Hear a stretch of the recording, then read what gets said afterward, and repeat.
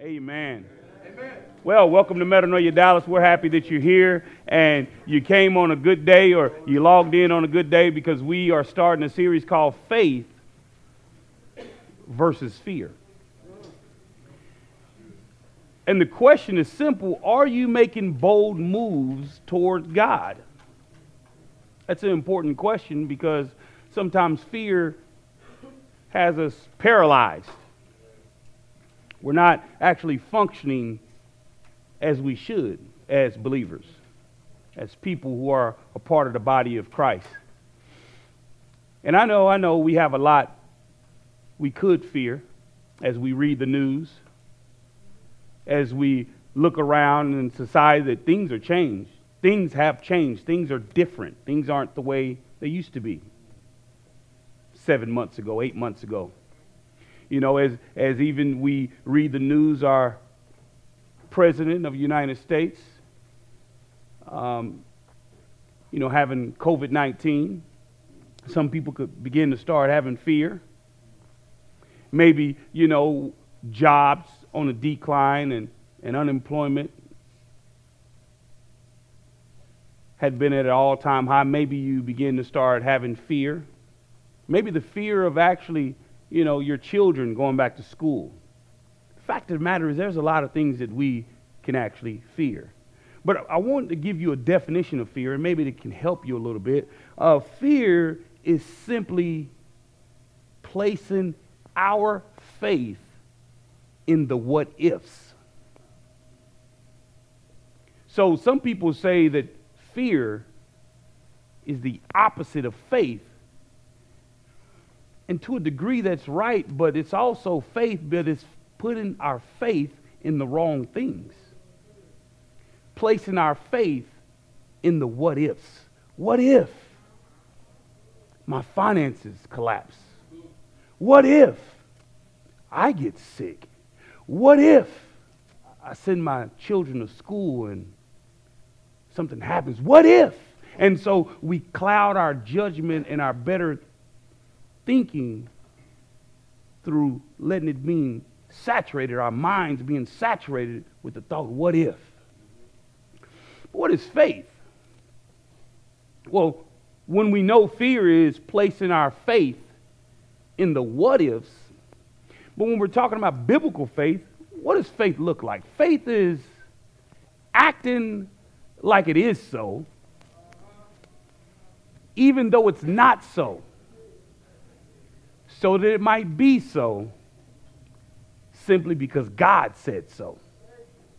Basically, God said it, I believe it, and that's it.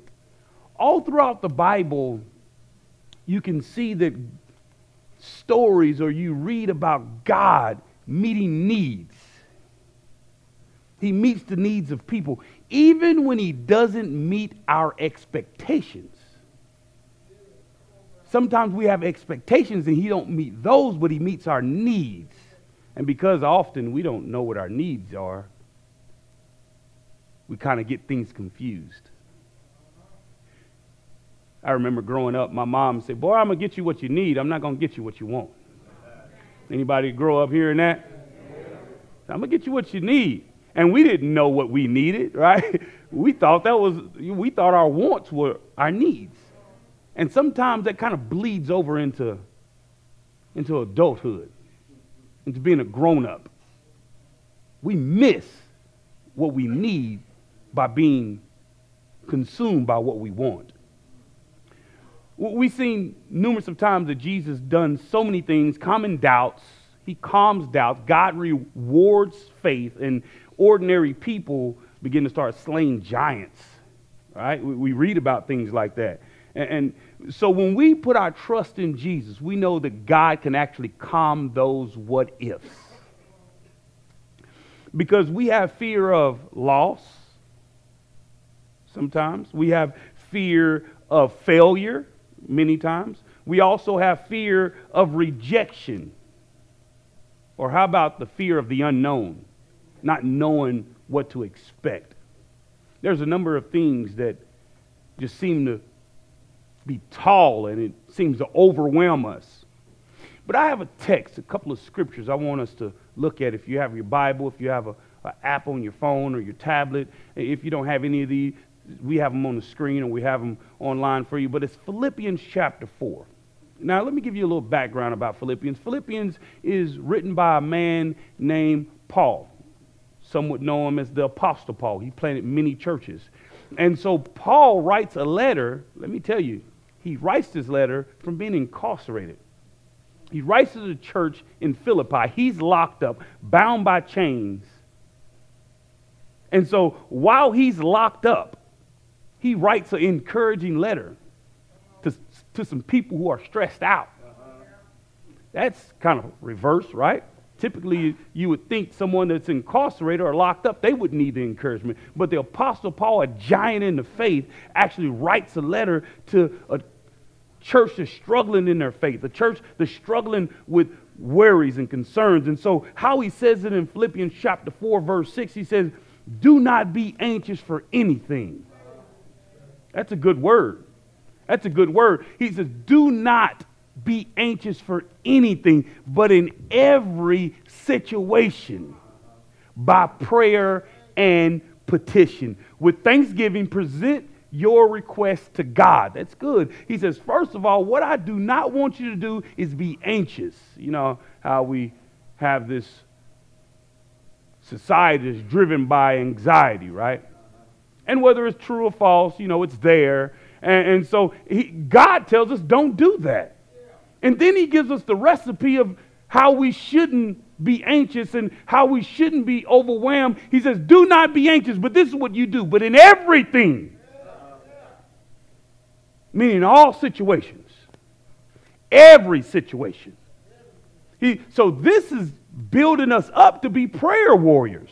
This is building us up to stop letting things weigh us down. This is building us up to stop letting problems overwhelm us. He says, in every situation, by prayer and petition, with thanksgiving. Sometimes we find ourselves presenting our prayers or our petitions, and we're not all that thankful about it, right? You know, have you ever gotten your knees and you really wasn't all thankful about what the things you needed to present to God? I have. And so he says, don't be anxious, pray about everything. And he says, be thankful and present your request to God. Re- re- present your request to God. Sometimes we talk about the things we need, right? The requests we have, we call somebody, we text someone, we inbox someone. We start talking about it, right? We don't present it to God. We might start talking to someone else about the requests we really have and we should be presenting to God. But we start talking to somebody else about it. Anybody ever done anything like that? Well, the Apostle Paul was locked up saying, hey, I could be writing you about how these I'm living in these bad conditions. I could be writing you about how this jailer is really treating me bad. I could be writing you and telling you that I'm locked up and I'm really innocent. You know, everybody's innocent when they're locked up, right?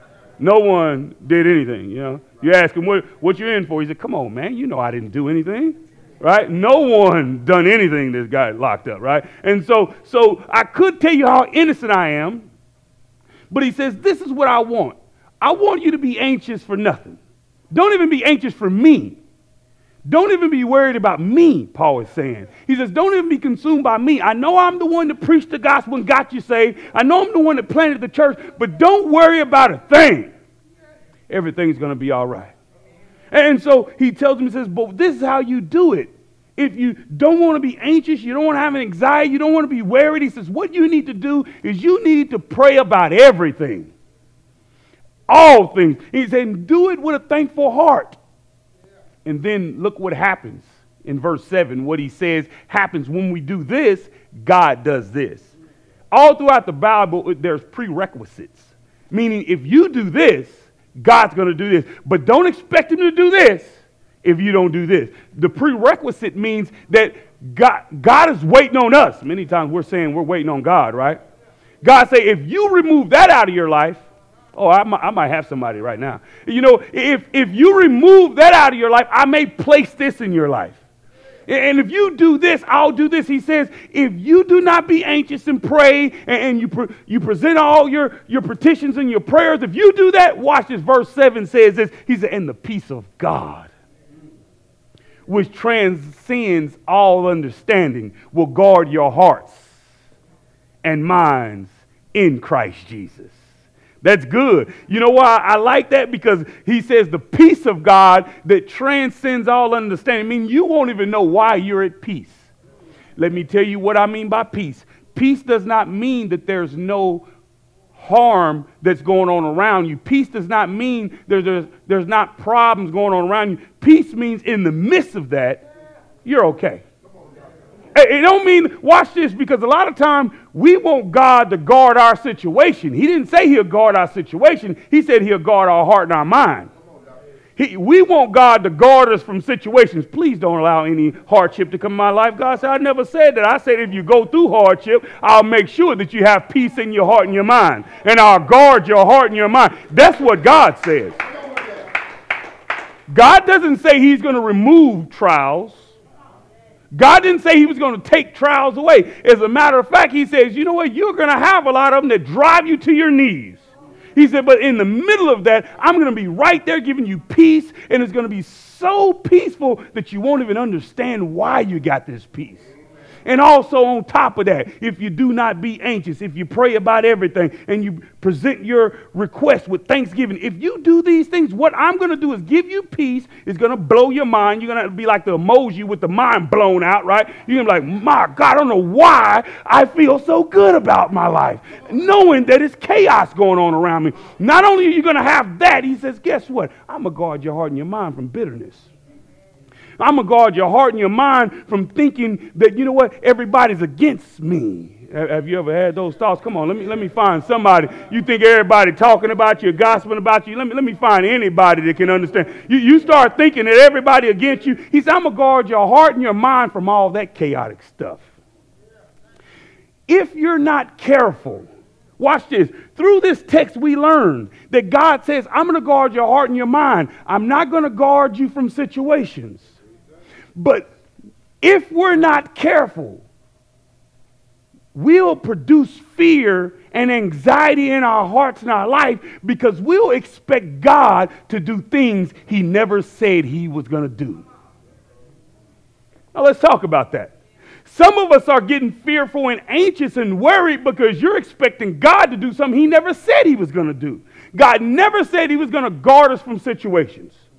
God never said he was not going to allow situations and hardship to come in our life. God never said that. So when it happens, all of a sudden we have this spiritual epiphany that it's the devil, right?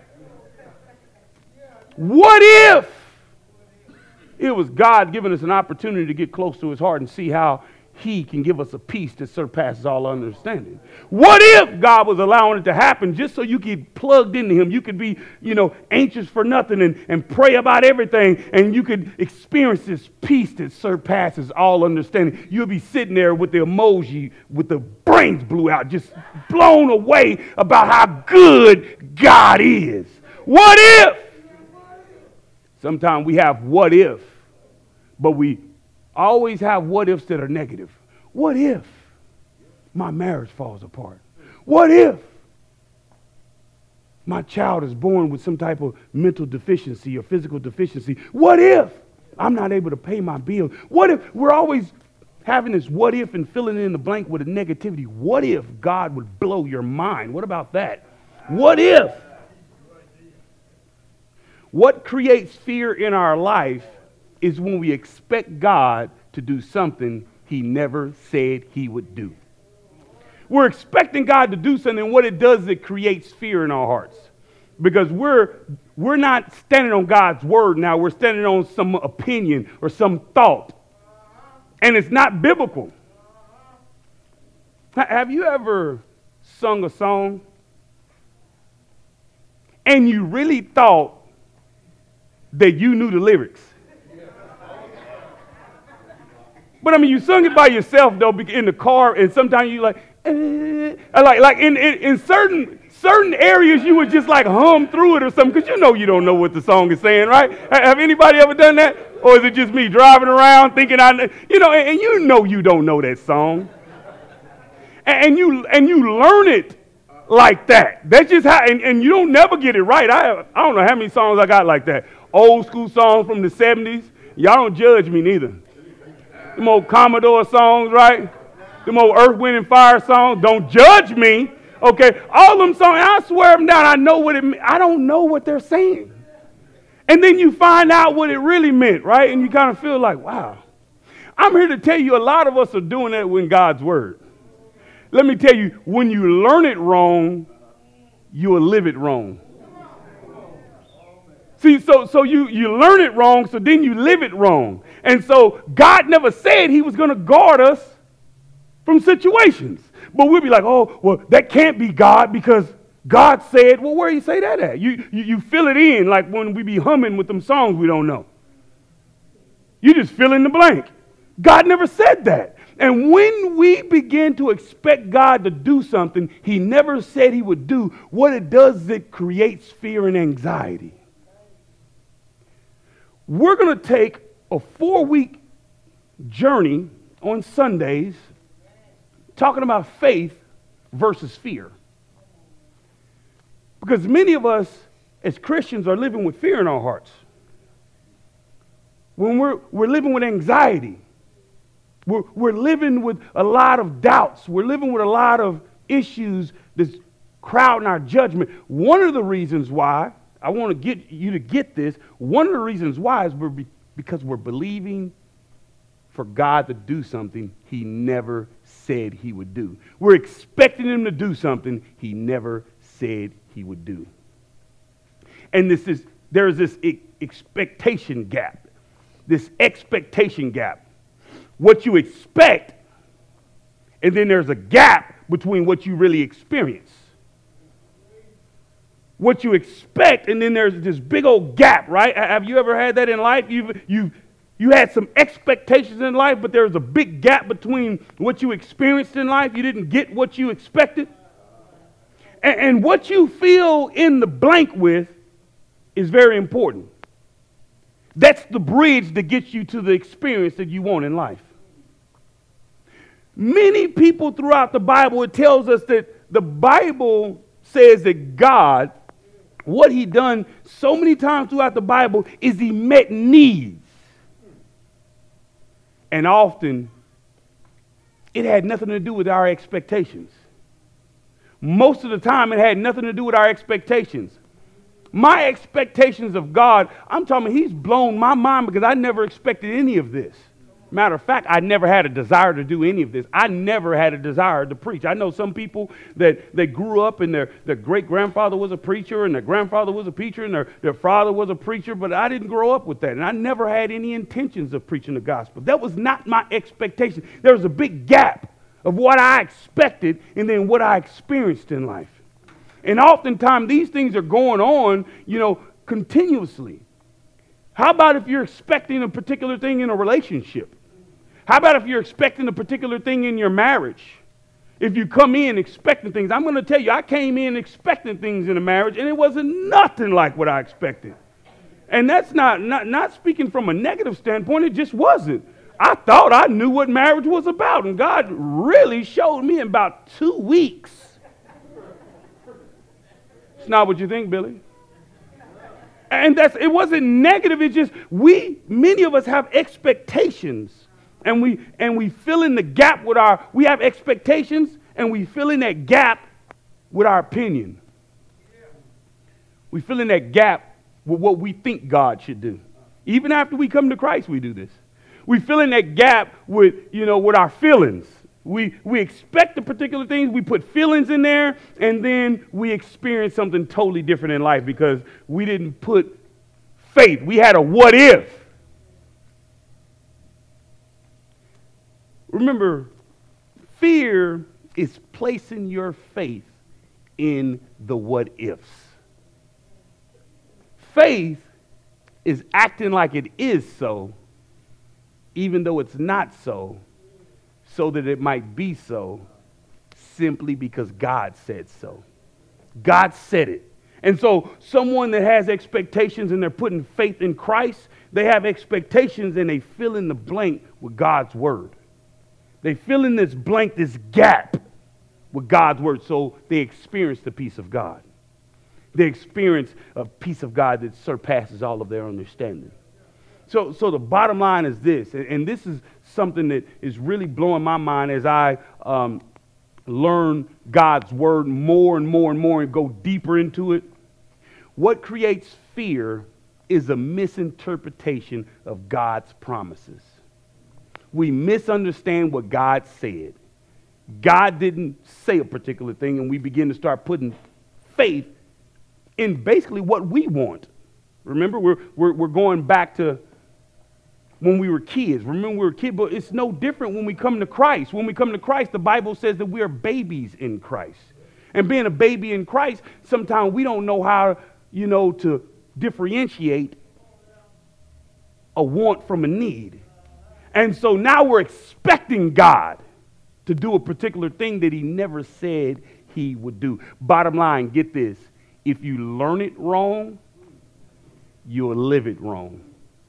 And that's why it's so important for us to get plugged in into a place where we can learn the Word of God. Tribes are, are something that I challenge everyone to get involved in. Tribe, a tribe, is something like a small group where we fellowship, we, we eat on the Word of God, you know, and as soon as it, it, gets safer, we'll go to coffee shops. Right now, we're doing it on Zoom. If you want to join a tribe, just text tribe info to the number 94090, and it'll get you plugged in where there's uh, different tribes. I mean, you got male tribes, you got co ed tribes, you got female tribes. You got a tribe that you can get plugged in with someone that may be a little bit more mature to you in the Word of God, or may just be someone that will be a listening ear and they'll get you plugged into God's Word. But I'm going to tell you like this if you learn it wrong, you'll live it wrong. You'll sound like many of us riding down the street singing a song totally wrong. And that's, that's kind of like how it is in, our, in some of our Christian life, right? You know, you, you hear people say stuff, and I'm like, whoa, that, that doesn't line up with God's word. But it sounded good, right? God bless the child who can hold his own. That's not God, that's Tupac. You know, that's not.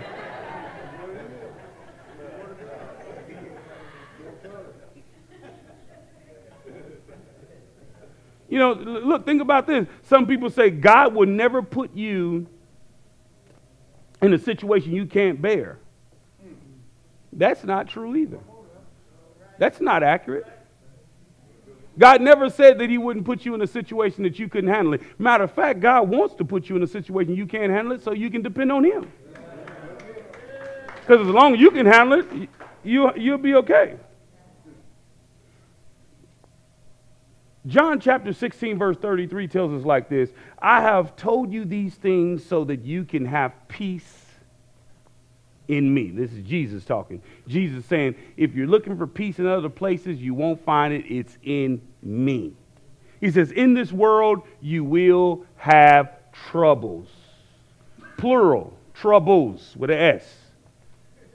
Because sometimes we have one trouble and we're like, whoo, I endured and I stood on my faith. Oh my God, I'm amazing. Uh, you know what? God is good, amen. And we think like, okay, well, well don't worry. You know, I've heard of the situation where uh, typically you're either going into a storm, you're in the middle of a storm, or you're coming out of a storm. No matter what, you know, storms are always going to come our way, trouble. He says, but be brave.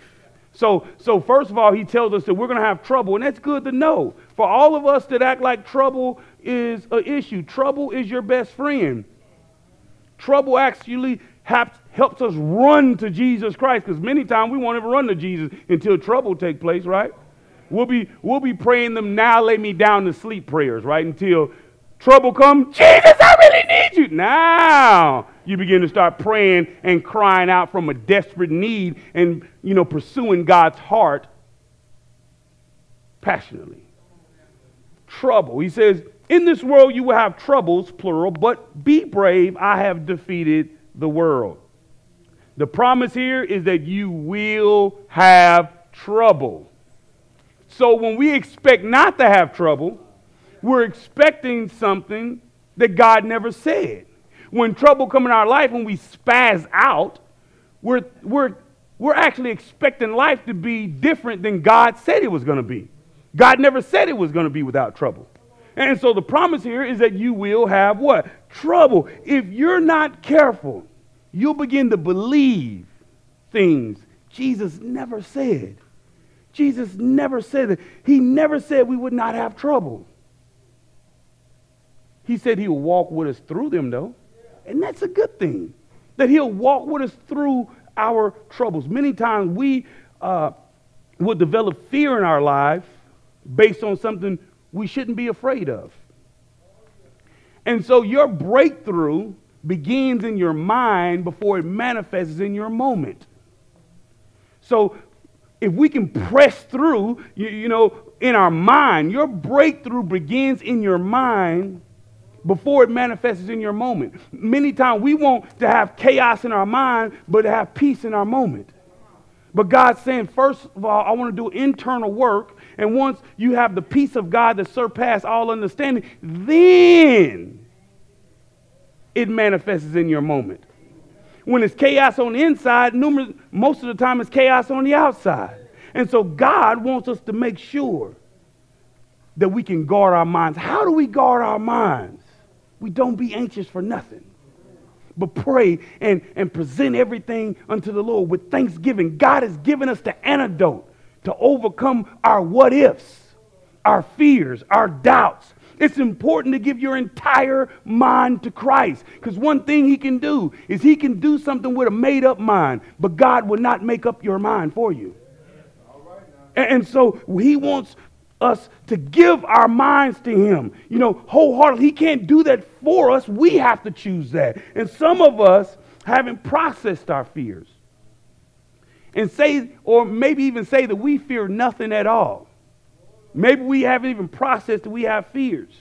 The fear of losing a loved one, losing your spouse, losing your child, losing your job, losing. Many of us, we may have to face we have to face our fear of losing, or we have to face the fear of failure. Some of us don't want to try anything new because we're scared that we'll fail. So we stay in a safe place. We stay in what's familiar, and we won't step out there on faith because we fear that we may fail. And it looks good from a distance. It looks good, like, oh, wow, they're, they're pretty consistent. No, they're pretty safe.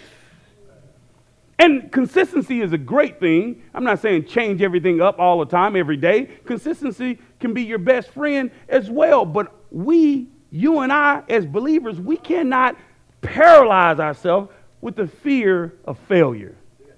Uh, also, we have another fear the fear of rejection.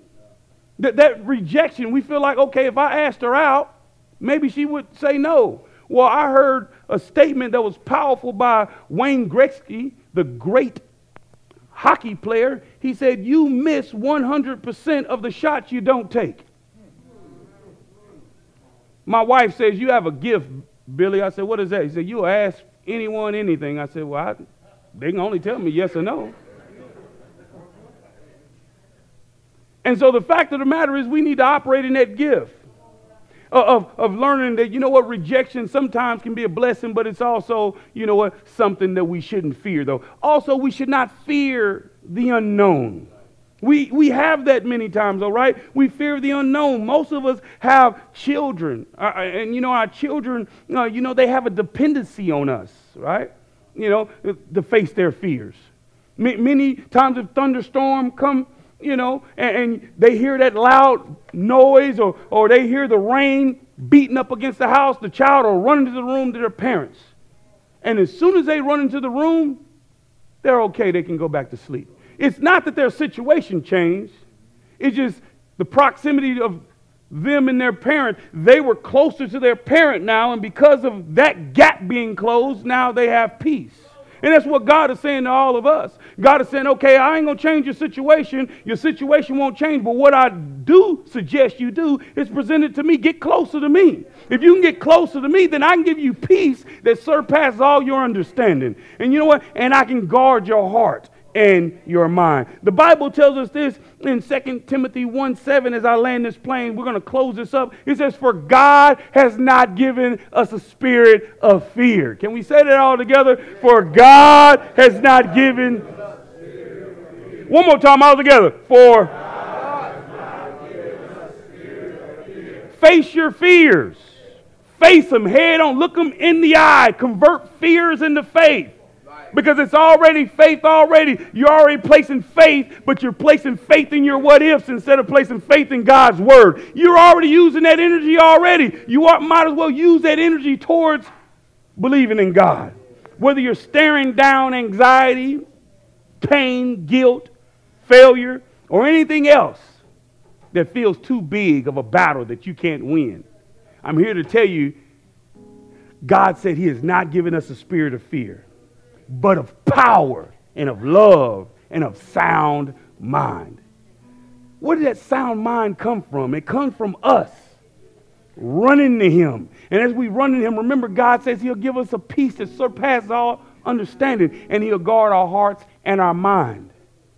How do we, how do, we do this? How do we face our fears? Well, we've seen in the Word of God, one of the things we need to do is we need to learn how to pray. We got to begin to talk to God. What is prayer? Prayer is simply communicating with God. Simple. Talking to God. That's one of the ways we face our fears is prayer. Talking to God about it. And you may say, well, how do I pray? You pray however you want to pray. You know, it, it, it's not about trying to get religious and learning a, a particular prayer. You talk to God the way you talk to Him. Because I'm going to talk to Him the way I talk to Him meaning my relationship is personal. You can't you cannot try to, you know, mimic someone else's prayer life. You got to have your own prayer life. So how do you face your fears? You talk to God about your fears. There's nothing wrong with talking to God about your fears. That don't make you a bad person. Actually, that makes you a person that understands that you can't overcome this fear without God. You can't overcome this what if without God. God, you know what? I have this fear, and, and Lord, I want to present it to you today because I don't want to run around with this burden. I don't want to run around with this, this anxiety. I don't want to run around with this worry, oh God. And so I just keep on praying. We just keep on praying. He said, Well, I tried that. We'll do it again. Right, right. Well, I've tried praying and it comes back. Well, pray again. And again. And again. I'm going to tell you, fears, soon as fear comes in your heart, that's just a clear indicator that it's time to pray. And then move forward in faith believing that God, I gave you my fear. I don't have it.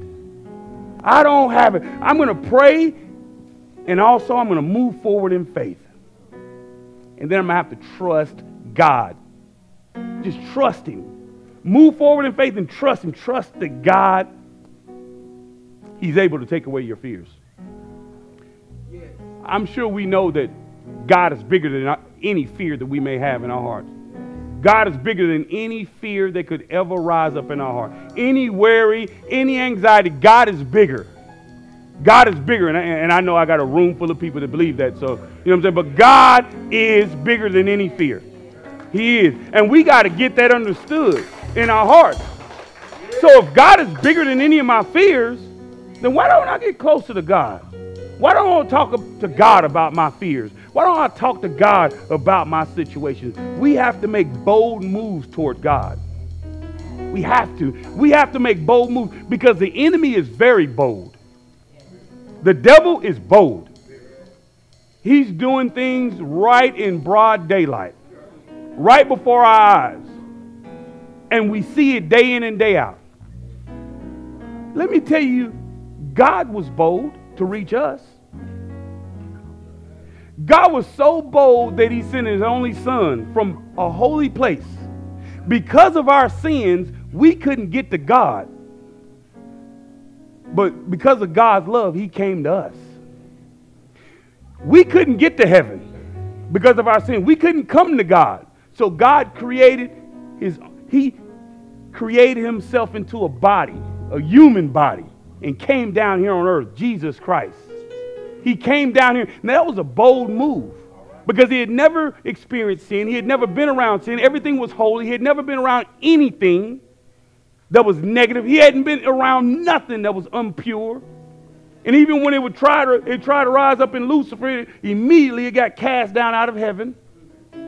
Because God is love, that He loved us so much that even though we could not go get to Him, He made a bold move and He came to us. Because we couldn't ascend, He descended. Because we couldn't come to God, and because we were enemies of God, He became a friend of man. He laid his life on the line. Some people say that God's son Jesus was killed or he was murdered. I don't believe it. Because if, if he was murdered or killed, that meant that someone took his life. And no one took Jesus' life. Matter of fact, he was so bold about it, Jesus said, You know what? No one will take my life. I'll lay it down and I'll pick it up when I want to. That's a bold statement. That's a powerful statement. God was bold enough to lay down his life because you and I weren't able to get to him. And today we can open up our hearts and receive Jesus Christ as our Savior, or we can rededicate our life to the Lord because he made a bold move towards us, but we need to make bold moves towards him too. We need to make bold moves. What does that move look like? Humbling ourselves. Pressing through the anxiety, pressing through the worries, pressing through the doubt, pressing through our feelings sometimes. Sometimes you just don't feel like getting plugged in with God, but you got to make a bold move and say, you know what, God, I you made a bold move towards me, so I'm gonna make a bold move towards you. I'm gonna lift up my hands when I don't want to. I'm gonna get on my knees even though they feel a little rusty and, and cranky, and I, I don't know if I'm gonna be able to get back up. But the fact of the matter is, I'm gonna make a bold move towards you because you made a bold move towards me. How many of us know we need to make bold moves toward God and because God made a bold move towards us. If there's anyone here that have not accepted Jesus Christ as your Lord and Savior, I'm here to tell you that God loves you. God loves you so much. God is a God that cares. He cares for each and every last one of us. And so if you're here and you have never accepted Christ Jesus your Lord and Savior, I want to lead you in a simple prayer. And also, it may be a group of people here that may have walked with the Lord, but may have kind of got off track. If you're that person, that's okay. God loves each and every last one of us. He loves us, all of us, as if there was just one of us. And so I'm, I'm here to tell you that Jesus is here, making a bold move, and he's knocking at the door of your heart. And he's asking you, can, can he come in? Can I come in? Will you open your heart today? and allow Jesus to come into your heart? Will you open your heart and allow Jesus to become real? Will you open your heart and ask Jesus to forgive you and recommit your life to Christ today? Will you open your heart today and even though you may have accepted Christ, say, God, I still need you because sometimes fear is coming in my life, fear is coming in my heart, and I want to make sure that I put my faith in the right place? I want to act like it is so, even though it's not so. I don't see it yet, God, but I'm going to act like it didn't took place because your word said that you will give me a peace that surpasses all understanding. I need that peace today. I, I, need that peace today with every hand lifted, every heart open. Come on now, every every person in here. You know, we those who need the peace of God to surpass all understanding. Those who need Jesus Christ. Just as bad as when they first accepted him. The people that need Jesus desperately like they were when they first got saved. I, I want to pray with you. They just say, Lord Jesus, I recognize that I need you. And today, I ask you to come into my life and become real. I need a peace that surpasses all understanding. In Jesus' name, amen.